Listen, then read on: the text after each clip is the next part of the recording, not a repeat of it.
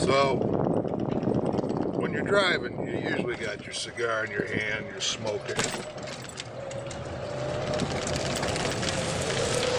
But sometimes you got a partner that's not a cigar smoker, not aware of your cigar, and he moves the cart, you lose your cigar.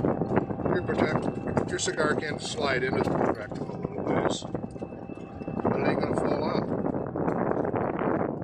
So we're going down a windy cart path here. We're gonna go over a few bumps just to show how the thing ain't gonna fall out of there. That's a major bump. We gotta back up. We'll get stuck in that. Okay. There we go. Well, you're getting the idea anyway. So the cigar is staying right in there. Ah, there we go. How's that?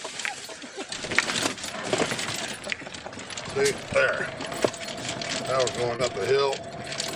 It's, ooh. Oh, I almost lost it, but the cigar holder didn't. We're going up a steep hill. Sometimes you may have to adjust the angle on it a little bit.